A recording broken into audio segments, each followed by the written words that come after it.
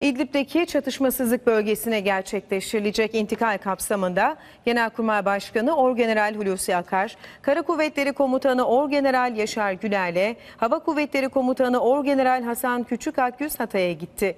Genelkurmay Başkanlığı'nın internet sitesinden yapılan açıklamaya göre Genelkurmay Başkanı Orgeneral Akar, beraberinde Kara Kuvvetleri Komutanı Orgeneral Güler, Hava Kuvvetleri Komutanı Orgeneral Küçük Akgüz'le bölgede bulunan birliklerin komutanlarının da katıldığı bir toplantı gerçekleştirdi.